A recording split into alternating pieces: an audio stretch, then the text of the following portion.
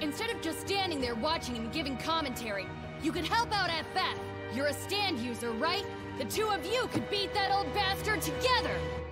I'll help if FF dies. Before I came here, helping FF was never part of the deal. The sworn agreement was to protect only you. And besides, FF said themselves not to step in for them.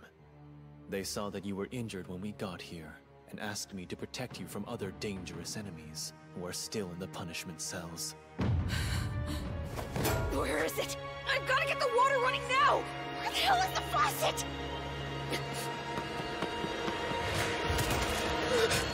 Be careful what you touch.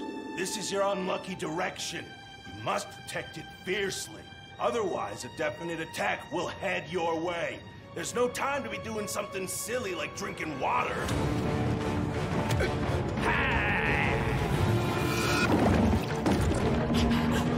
At their own will! FF, no! What are you doing? Please stop! An attack has already been decided, get it? This is not going to